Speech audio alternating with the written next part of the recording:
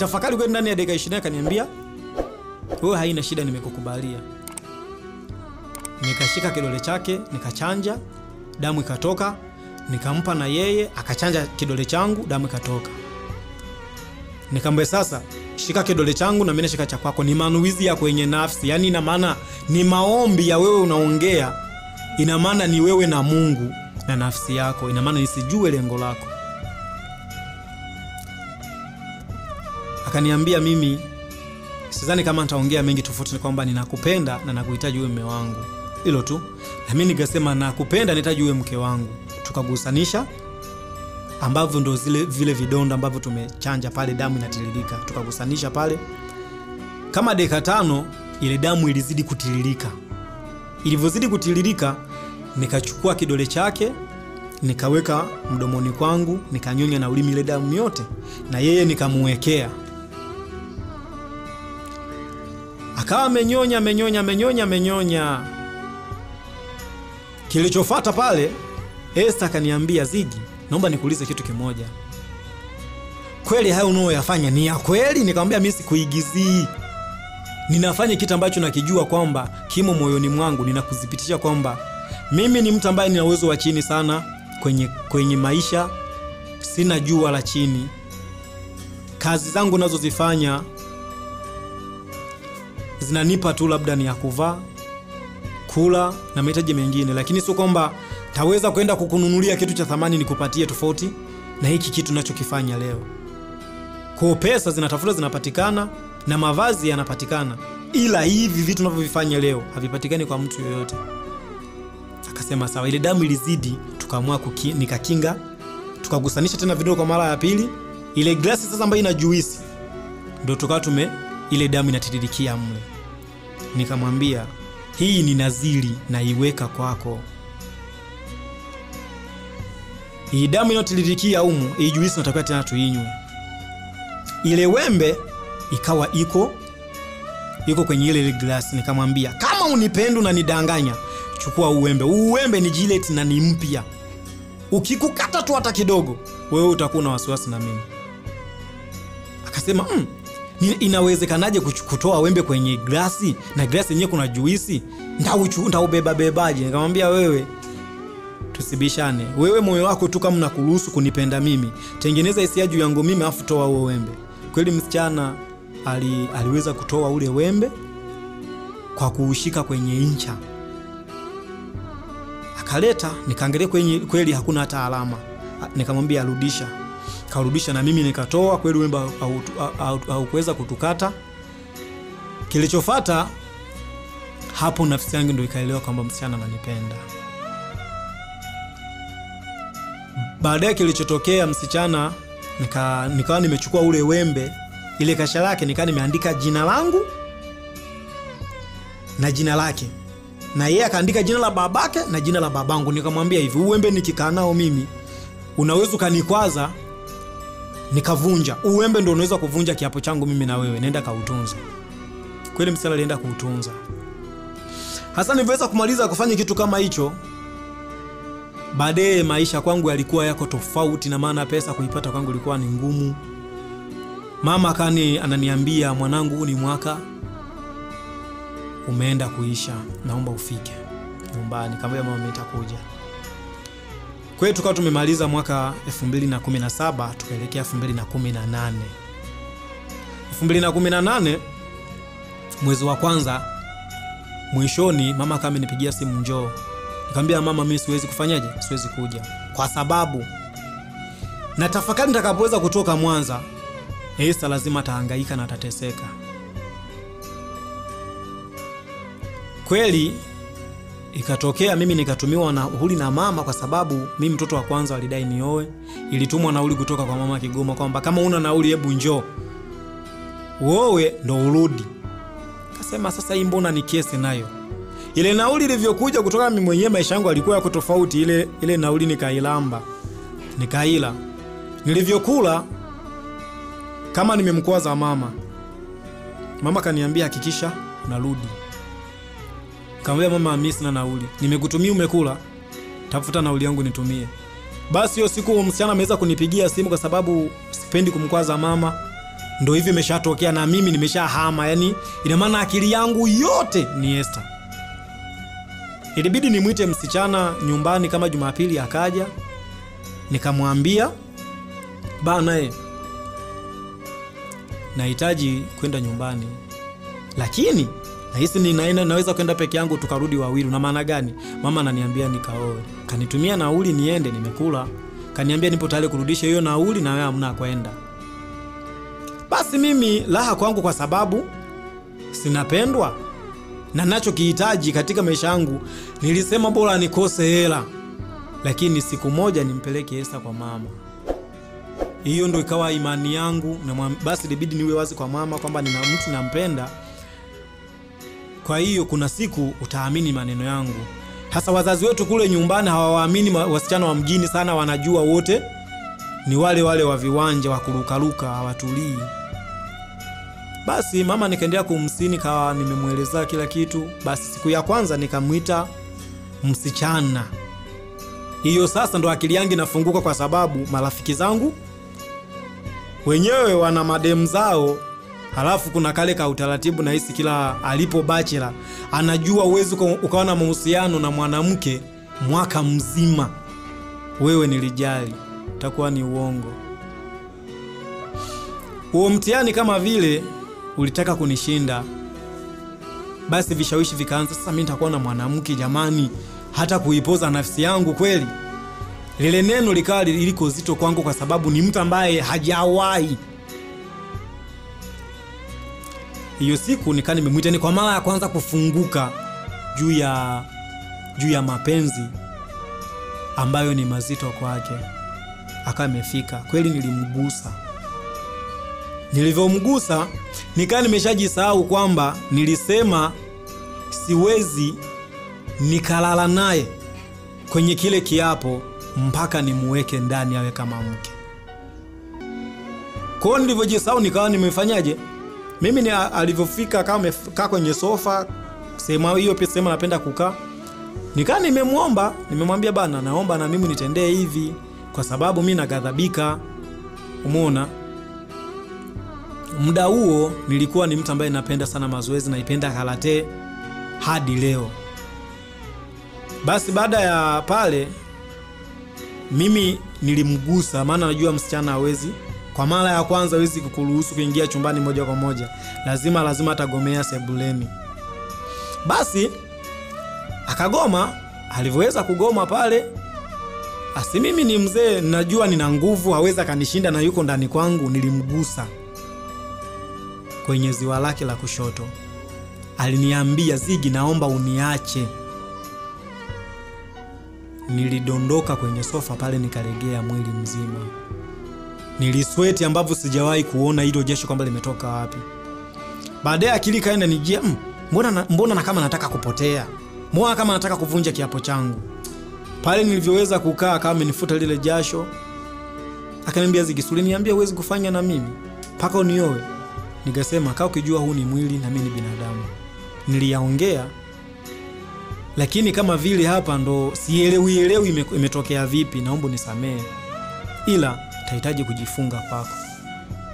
Kujifunga kwako ina maana siwe ina maana yale matamanio niliyonayo nisiweze kuweza kulala na mwanamke wa aina yoyote. Kweli niliweza kujifunga kwa, kwa wiki nyingine baadaye nilimwacha akaenda nyumbani. Alivyoweza kwenda nyumbani tukawa tunaongea ongea. Basi mwezi wa kwanza mwishoni wa pili mwezi wa tatu mwezi wa nne 218 nika nikamuita. Akaja nyumbani kaambia bana naomba nijifunge kwako kwa sababu vishawishi navyovikutana katika kazi zangu ni vingi. Najua na wewe huniamini.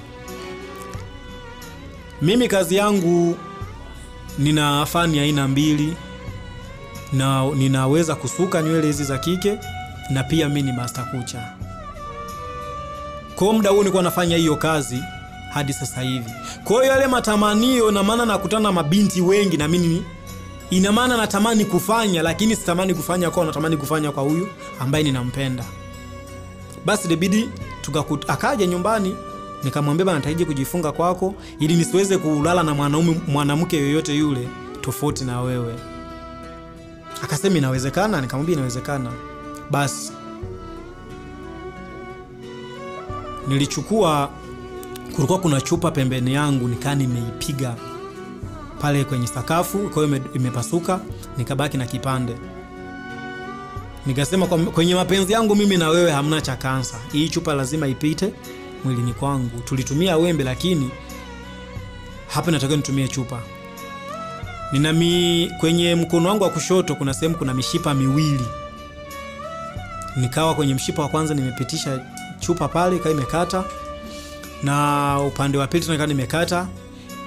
Kuna dawa ambayo nilikuwa nayo mle ndani, napenda sana kuitumia niliweza kumimina pale ili damu ikawa imekata. Nikamwambia kama unanipenda, ila naomba usije kanitesa, kwa sababu utakapoweza nitakapoweza kujifunga kwako, ina maana sitaweza kulala na mwanamke yoyote yule, na baadaye ukija kuniacha takuja kuteseka. Kama unajua utakuja kuniacha, ufanyeje? Uniambie nisiache kujifunga. Akasema siwezi. Basi akawa amenyonya ile damu yote na ile dawa kalamba usiku cha moto nilikipata na yeye kwake alikipata. Kwa sasa hicho cha moto maana kukipati na maana sikulala, nililala na angaika, kwa sababu kile nilichokifanya ina maana nimepitiliza waaminifu na ule na yule ni nani? Ni binadamu, anaweza kageuka. Basi mimi yote nilimwachia Mungu, kwa sababu kitu nilichokuwa nakifanya nilikuwa nakijua mimi na akili yangu, kwa sababu akili ilikuwa ikinituma kufanya kitu fulani kwa ajili ya Esther. Si, ha, si, nilikuwa siwezi kujua kwamba hiki kina madhara gani, nilikuwa nakifanya. Basi msichana, wiki ya kwanza baada ya kutoka kwangu kumaliza hilo, wiki ya pili akaniambia nakuja nyumbani, akaja akani, nika alivyokuja nibidi nimwambie sasa, bana, mimi nyumbani kwetu anadai nioe, kwa hiyo naomba nikuoe. Huo ni mwezi wa nne. Kaniambia naomba usubirie kama kuna unanipenda, elfu mbili na kumi na tisa unichukue mwakani. Nikasema mwakani, eh, haina noma. Kama nimevumilia siku zote hizo sembuse hizi siku zilizobaki, mi nitavumilia. Basi tukaendelea kuongea mambo mengine, maisha nini na nini. Basi sawa, lakini mama aliendelea kunisumbua sana mwanangu, naomba urudi nyumbani. Mama akaniambia kuna kazi sehemu fulani na kutafutia, naomba urudi ili ufanye. Sasa mimi pale napofikia safari, tukaanza kuwa tunazinguana na nani na Esther. Tukizinguana mimi nasema sasa, kumbe ananizingua huyu, ngoja ni- nijiendee nyumbani. Nikikata tiketi tu nika, yani kosa langu ilikuwa ni kukata tiketi, simu zinaingia unaenda mbona sikuelewi? Unaenda mimi bana naenda nyumbani.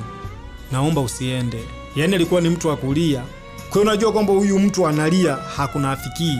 Ila ni kitu ambacho kinatoka maoni mwake. Tiketi nilikuwa ninauza. Tiketi nakata kwa ishirini na nane lakini tiketi nilikuwa nauza kwa elfu ishirini.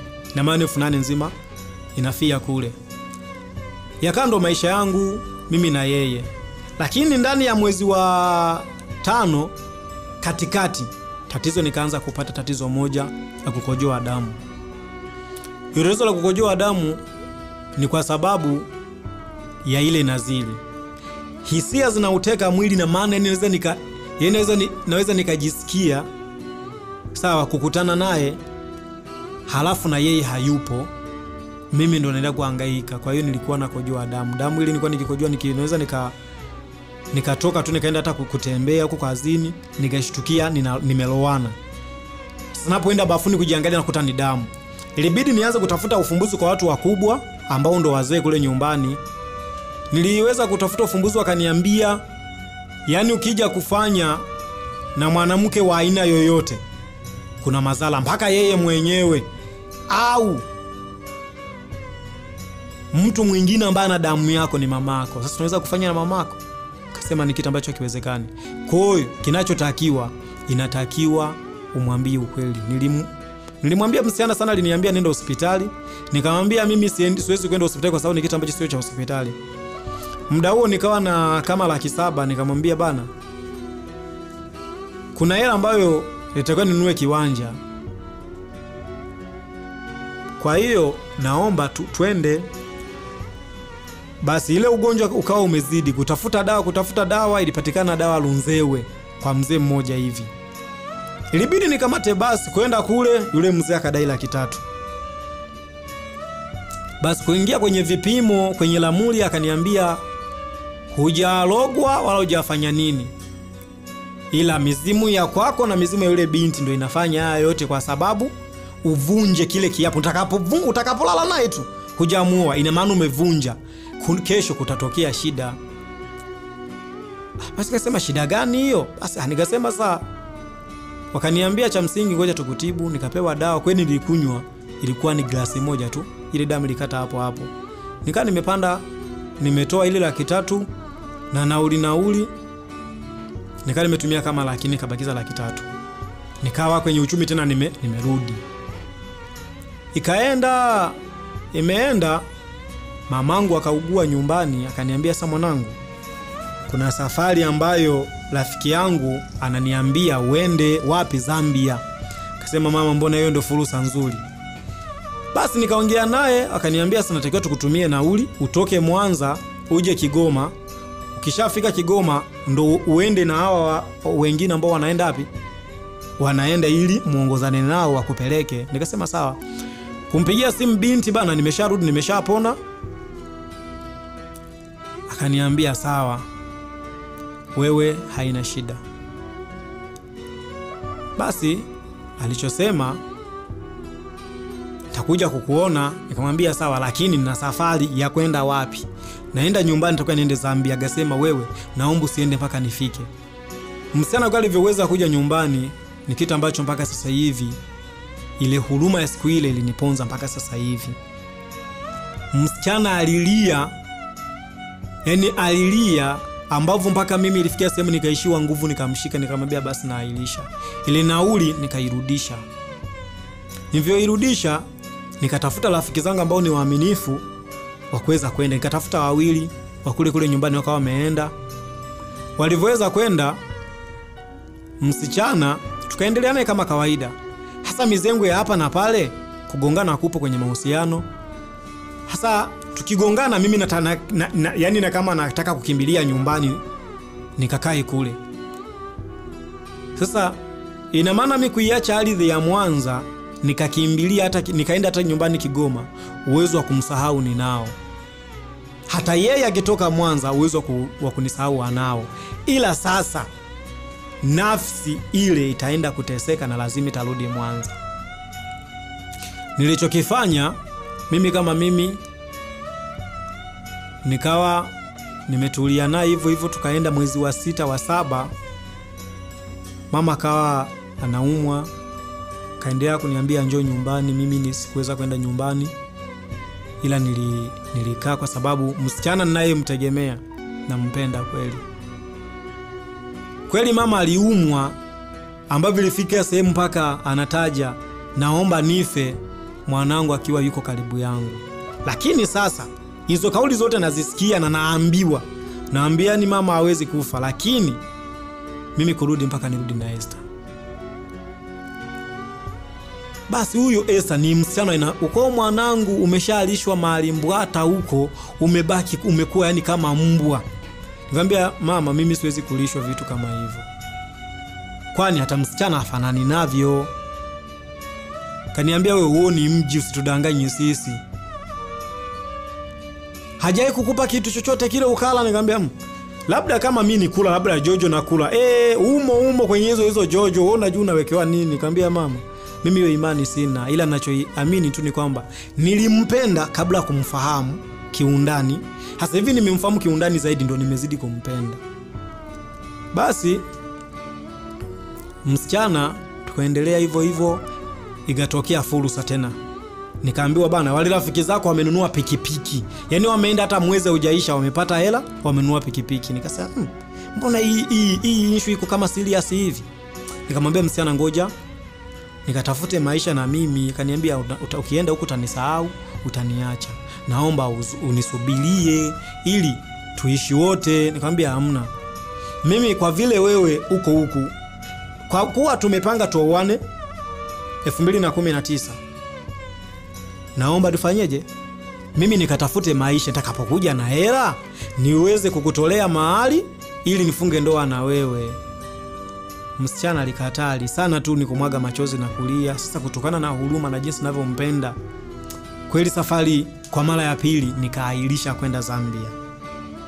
Basi mwezi wa saba msichana kama msichana nikaendelea ku, kuwa naye hivyo hivyo muda wote huo mimi sikurudia, yani sikumvua nguo ya aina yoyote tofauti na kumgusa kwenye ziwa la mkono wa kushoto.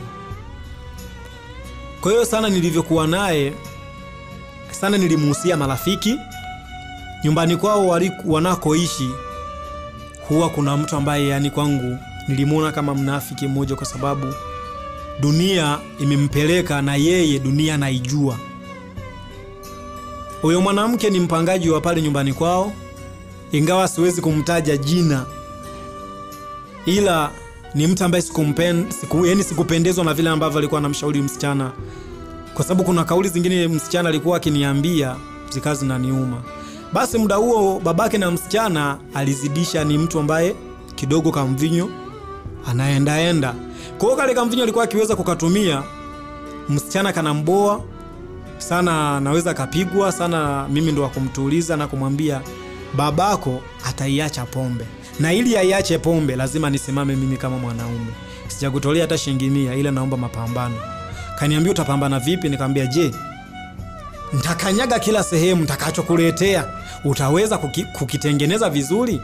Kaniambia sawa. Nikamwambia humu ndani kuna laki kama mbili. Na ngoja nitafute dawa. Nigapiga nikapiga simu kigoma ikawa imetafutwa imepatikana dawa ya kuacha pombe. Yakiwemo maziwa ina maana mtu ambaye ameachisha mtoto ziwa kunyonya wa mwisho. Yani maana hawezi akanyonya mtu mwingine. Yale, yale maziwa yakawa yamepatikana pamoja na vingine vingine tu vya kuchanganya mle nikawa nimetumiwa. Basi hiyo siku ya kwanza nikamwambia msichana njoo chukue. Hivi natakiwa wakati unafua nguo umf, uf, ufanyeje uweke kwenye yale maji usuzie akivaa tu hizi nguo hawezi kunywa pombe tena. Msichana akasema hisi sana. Hiyo siku ameku hiyo siku nampigia msichana njoo uchukue dawa nimeshaiandaa. Msichana akutokea hapo hapo imetumia imetumika kama mia tisini. Kasema sasa mwanamke mbona kama unaenda kunifilisi? Mimi nachokihitaji ni ukae na amani leo tena mimi naandaa dawa yangu nashindwa. Akasema naomba nisamee takuja akasema hii dawa ikitengenezwa inatakiwa itengenezwe na ikafanye kazi. Sio itengenezwe kae humu ndani itachacha. Akasema naomba nisaidie kesho asubuhi saa tatu nakuja. Nikaa nimempigia shangazi yake pale pale kijiweni akawa amemuelimisha bana kwa kuwa huyo mtu kaamua kufanya kitu kama hiki jitahidi kufanyaje? Kumtengenezea mazingira ya ushirikiano. Basi asubuhi tumepanga saa tatu nikatengeneza ile dawa. Yani mpaka saa nane msichana hakutokea. Hapo ndo nilianza kufanyaje? Kuona msichana anabadilika. Basi kitu kama hicho kimeenda ningesema basi libidi swala hili nilifumbie macho. Kwa kuwa wewe umekama umelizika mzee kunywa pombe basi haina shida. Na mimi nimetoa msaada wangu na hisi siwezi kufanyaje? Kufanya kitu kingine. Basi yeye akawa na rafiki ambaye ndo mpangaji wake pale nyumbani sana nilimsii. Achana na huyo mwanamke sio saizi yako. Mwanamke mwenye mme na mwenye kupa, kwenye kupali viwanja siyo saizi yako. Basi nikamwambia sijui nifanye nini yani kama iwe message send. Kufika kwake nikamwambia mimi na kipaji cha kuimba. Taiandaa nyimbo ambayo itaendana na huo ujumbe. Nikamwambia hapo zam, yani hapo zamani kwanza nilikuwa nikipenda kumchagulia jina la Esther, nilikuwa sipendi kulitumia nilikuwa napenda kutumia jina la Turu yani ambalo ni mimi na yeye kwa sababu aliniambia nisimwambie rafiki yangu aina yoyote. Kwa kwenye simu nilikuwa nimesave Turu kwa hata yeye nilikuwa nikimuita Turu basi niliweza kuandika hiyo nyimbo nikawa nimerekodi kwa Masai music pale kijiweni pale pale. Nikawa nimempatia akaenda kusikiliza. Lakini yule mwanamke akawa bado anawakerembesha nikamwambia huyu mwanamke sio mwanamke wa kawaida ni mshirikina. Sawa. Na ni mshirikina uwezi amini nachokuambia kwa sababu hamna nafasi ya kuweza kumtoa hapo nyumbani. Yaani hapo ina maana inatakiwa ki kwa ki yaani funguo kwa funguo, kwa sababu ina maana ni dawa kwa dawa, na hapo lazima, kwa sababu we ni mtoto, huwezi nyie mumwacheni, utaka akileta fujo mumwache. Basi msichana pale alikuwa anasumbuliwa na kichwa pamoja na tumbo. Sasa mimi ni mtu ambaye nilikuwa na na vidawadawa na dawa. Hizi ni kwa ajili ya mazingira yangu mimi mwenyewe, kama kama kunywa, labda najisikia homa, najisikia labda tumbo linauma, labda yani na mazingira mengine tu. Tofauti tofauti, ila msichana ni zile dani zificha, sikutaka azijue kwa sababu ni sikutaka ajue, na hisi angeweza kukimbilia kwamba kumpata kwangu nimetumia ndumba. Basi msichana hiyo siku analia usiku, ananiambia kichwa kinaniuma. Kweli nilijisikia kumsaidia, nikamwambia utakuja nyumbani kikipoa. Akaja, nikachukua dawa, nikamwambia hiki nachokifanya ni kama vile kitaniletea madhara, kwa sababu wewe nakupa tiba ili utibiwe, lakini wewe utaenda kujaji vya kwako. Kaniambia naomba nisaidie, nishateseka mno. Kwani nichukua dawa ya kienyeji pale kwenye nani ya unga nikamfungia kwenye, kwenye kagazeti nikampa, nikamwambia hii dawa utakuwa unakunywa na nyingine utakuwa unajifukiza. Hakuna cha kuongea cha aina yoyote, ila sana tu hii dawa ya kuchoma ina maana inafanyaje? Ina, ina, unaivuta kwa kutumia pua, na hii ya kunywa inaenda kutuliza mchango, kwa sababu ni mchango ambao unavuruga tumbo unapanda kichwani. Kwa hiyo ukinywa hivyo inaweza kukusaidia. Akasema asante. Mwezi wa tisa elfu mbili na kumi na nane mimi nikataka kwenda Kigoma kwa sababu nishapakumbuka nyumbani, nikakata tiketi. Nimekata tiketi, nikampigia msichana, bana, naomba nikuage siku fulani uje. Akaja kambia bana, naomba niende kusalimia. Akaniambia, Zigi, mimi najua ukienda nyumbani haurudi peke yako kama unanipenda naomba usiende. Yani hiyo kauli yani ilikuwa inanivunja nguvu. Basi pale pale tabia zangu zote kwa nikizipenda, akawa amenizibia pale pale, naomba uache mazoezi. Nikamwambia mazoezi mimi nafanya kama sehemu moja kati ya afya. Akaniambia hamna, mwili ulionao unatosha, yani umebaki kama mbogo sasa. Nikamwambia hamna, naomba nifanyeje? Niendelee kwa sababu sinywi pombe, sivuti sigara, sina magenge kwa hiyo kipaji changu yani na kipenzi changu mimi ni karate. Basi kilichofata msichana alichoweza kuki, kukidai mimi kama mimi ni kitu kimoja. Aliniambia, Zigi, ngumi haina faida kwa sababu wewe ni mtu wa amani, unatakiwa uishi na amani. Nikamwambia mimi amani eh haina noma, ila anachokiomba kwako nakiomba ni upendo tu na ushirikiano. Basi mimi nitaacha. Nilienda chuoni kule ma, nani ma, maeneo ya Mkuyuni pale kuna dojo lipo linaitwa kwa Sensei Shabani. Nikaa nimemwambia mimi mwalimu, siweza kuendelea na mazoezi kwa sababu naona kama vile uchumi kwangu umeenda tofauti. Akaniambia basi sawa, jitahidi uendeleze elimu yako, maana nilikuwa na kama nilikuwa na renki ya pili kwa wanaofuatilia hiyo michezo watajua maana ya renki ya pili ni nini. Basi mwezi wa kumi msichana pale tukawa tumevurugana, tumevurugana kwa kuendelea kuwa na urafiki na huyo mpangaji wao, kwa sababu msichana alikuwa ana uwezo wa kuvaa suruali akaanza kuvaa vipedo, yani ambavyo hata vieleweki. Kwa sana nilikuwa nikimwona katika mazingira nasema, eh, sasa mbona msichana kaanza tena hivi? Na maana kama kaanza hivi masela nao tena wataanza kufanyaje? Kushadadia. Mimi nilishaweka jicho langu hapa, afu kwa hiyo nikisema nilinyamazia hili hamna, afu kweli nikashtuka, nikamwambia bana, sipendi. Kwa hiyo akaona kama vile namfuatilia yule mwanamke, akaanza kumpa maneno, na yale maneno sana, wengine tuna vichwa ambavyo kusema kwamba ni vichwa, ni vichwa ambavyo ni vizito, kwa sababu kinachoweza kutokea unaweza ukakifahamu kwa kupitia hata njoozi. Sio mimi tu nahisi, kuna watu wengine hata jambo kabla ya kutokea lazima aanze kulipewa kwenye njozi na ndo lifate. Kwa mimi katika yale maneno msichana akaanza kuniambia, yani wewe unanidharau. Kamuuliza nakudharau vipi? Mbona mimi sina, yani sijui kama nakudharau mimi, mbona nakuheshimu tu? Akaniambia wewe unanidharau. Nikamuuliza mimi ninakudharau vipi? Naomba uniambie.